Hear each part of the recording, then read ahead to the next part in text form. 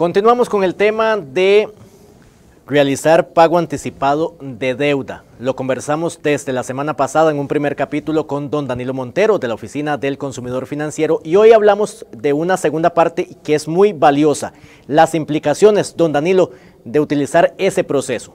Muy buenas, eh, Johan, y un saludo cordial a todos los que nos siguen. Eh, tiene varias implicaciones, este, no siempre las, las medimos los consumidores.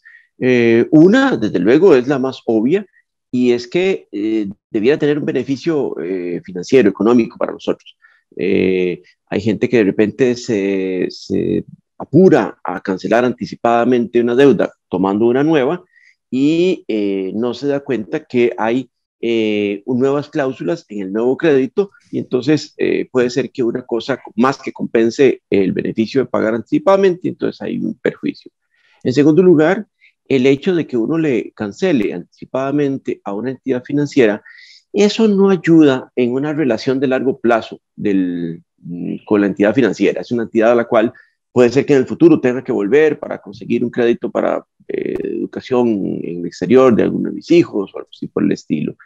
Y desde luego también está el tema de que eh, esa, eh, esa decisión que he tomado podría estar siendo afectada por eh, otros elementos del entorno, como puede ser, podría ser el tipo de cambio. Hay personas que de repente salen en carrera, toman un crédito en dólares para cancelar el otro que tenían en colones, pagan anticipadamente, pero el nuevo crédito en dólares tiene el riesgo del tipo de cambio.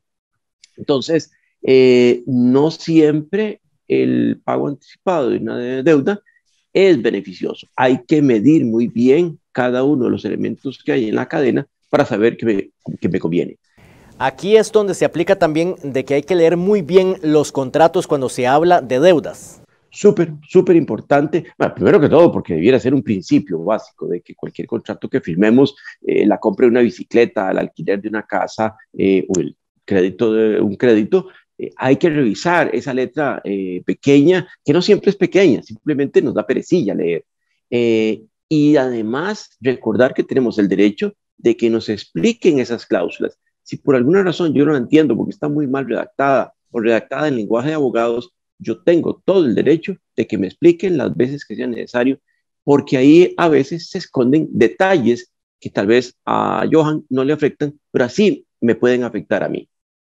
¿Y qué pasa si se opone algún funcionario a explicar bien el tema del contrato, el tema de una posible eh, pago anticipado? ¿Qué, ¿Qué hacer en ese caso?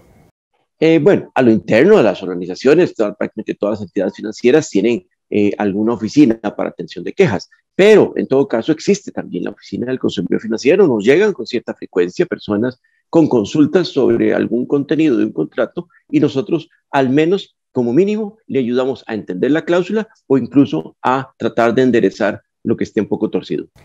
Gracias a don Danilo Montero de la Oficina del Consumidor Financiero que nos acompañó como todas las semanas aquí en TV Sur Pérez Celedón.